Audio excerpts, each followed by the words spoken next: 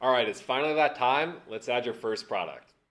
So you'll always want to add products from the rankings tool, and that's going to be the first screen that you see anytime you log into your account. And if you're not there already, you can just click the rankings tab. Okay, so once you're here, start by clicking the blue button that says add product.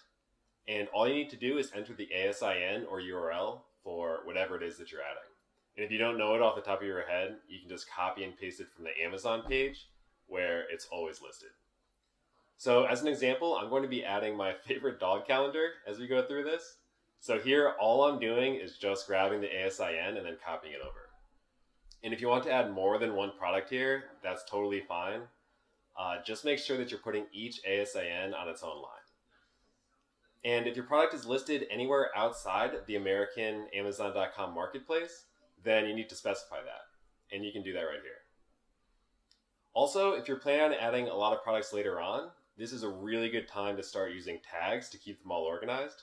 So I'll add a tag here, but keep in mind that you can always just come back and add these later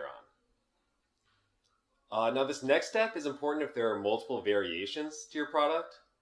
So if you want to track all of your variations together, which is probably the right option for most of you, then keep this checked.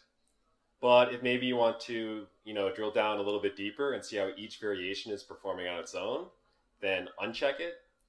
And, you know, we know that this can get a little confusing. So if you're not sure, then we recommend that you check out this guide here that compares the two ways of doing it and walks you through the pros and cons of each. And that's it. Just select add products and give it a few minutes while we go and fetch all that data. And there it is. But this data doesn't do too much for you without any keywords. So let's add those in by clicking this icon or just right here. Now to start, we recommend entering as many keywords as you can. And seriously, don't hesitate to go right up to your limit here. And keep in mind that you should be entering both long and short keyword searches related to your product. So let's shoot for somewhere between 50 and 100 keywords. And if you're short in ideas, then you can either take advantage of our keyword research tool, which we'll cover later, or you can use a service like Google's Keyword Planner. In between the two, you should easily end up with more than enough ideas to get going. Now, once you've compiled a big list, which I've just done here for my pug calendar, then you can just paste these in and click add keywords, and then just give us another few minutes to pull all this data for you.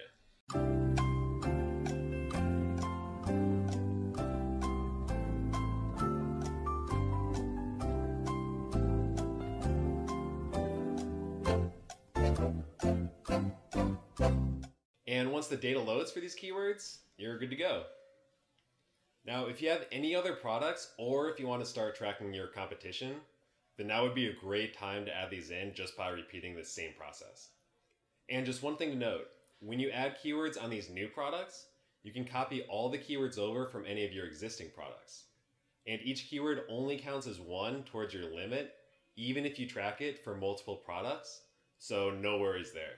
That's it. In the next video, I'll show you what you should be looking for in this data to help you decide what you need to do next.